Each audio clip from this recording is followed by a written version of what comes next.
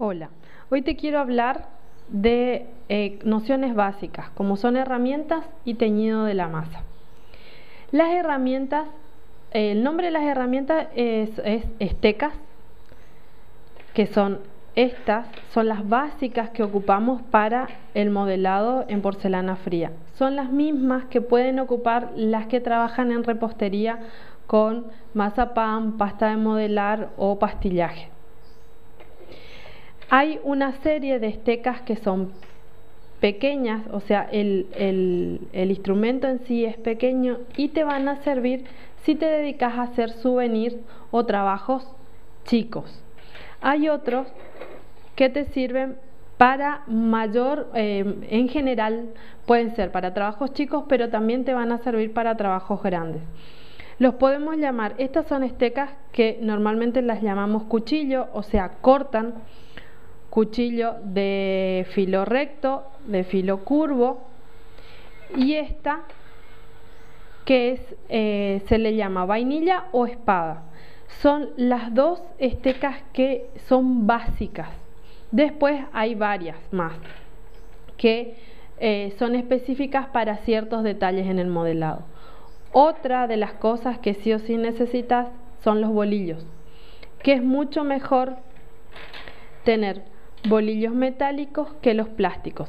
Los plásticos sirven también, pero el plástico tiene un, un, borde alrededor que muchas veces deja su marca. El bolillo metálico no tiene eso y además deja mucho más prolijo el trabajo. Esto con respecto a herramientas que muchas veces preguntan cuál es el gasto inicial o lo básico, entonces yo les sugeriría yo les sugeriría que en herramientas que pueden ser estas es lo básico. Estecas con estas dos podemos empezar y bolillos sí en dos tamaños, uno mediano y uno grande. Para el teñido de la masa podemos ocupar muchísimos pigmentos. Óleos, colorantes para torta, colorantes para porcelana propiamente dicho, témperas y más cosas, pero esto es lo que casi siempre tenemos a mano. ¿Cuál es la gran diferencia? Es que las témperas es un pigmento mucho más débil, o sea, siempre van a lograr colores pasteles, colores claros. Por más que ustedes tiñan con un color azul, la porcelana va a quedar muy clara, va a quedar casi en un tono celeste. Los colorantes para porcelana son relativamente nuevos, se están fabricando ahora, son concentrados y de excelente calidad. Los colorantes para torta también son concentrados, son muy buenos, es lo que más usamos y lo que se usa y es común en casi todo el mundo. Es una ventaja que voy a sacar un pedazo de masa. Es una ventaja que al ser concentrado, ustedes con una pequeña cantidad puedan lograr rápidamente un color intenso. Esparcimos un poco, dejamos en el centro y no le tengan miedo, estiren, abran la masa, que se vaya distribuyendo el color. ¿sí? retuerzan y estiren, así también logran elasticidad en la masa. Cuando está teñido, cuando está parejo el color. No jueguen con la masa. La masa cuando sale del paquete o cuando abrimos el plástico, empieza, comienza el proceso de secado. Tiñan rápido y una vez que está parejo el color, lo envuelven. No lo tengan siempre en la mano.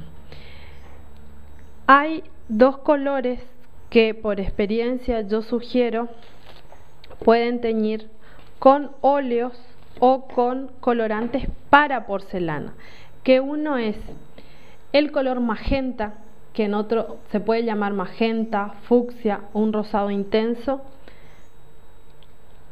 que es un color en óleo y el violeta.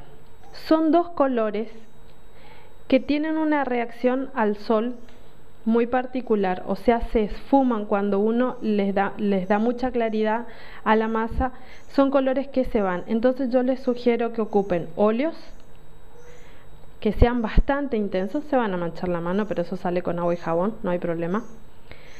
Tiñan con colores eh, al óleo que son pigmentos más fuertes, cosa que estos colores sean duraderos, sean permanentes.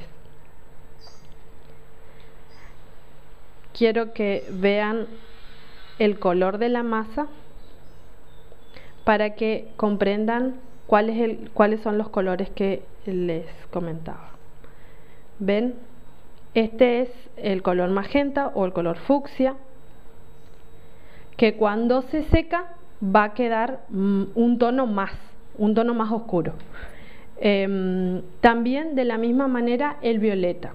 Yo les recomiendo que utilicen óleos.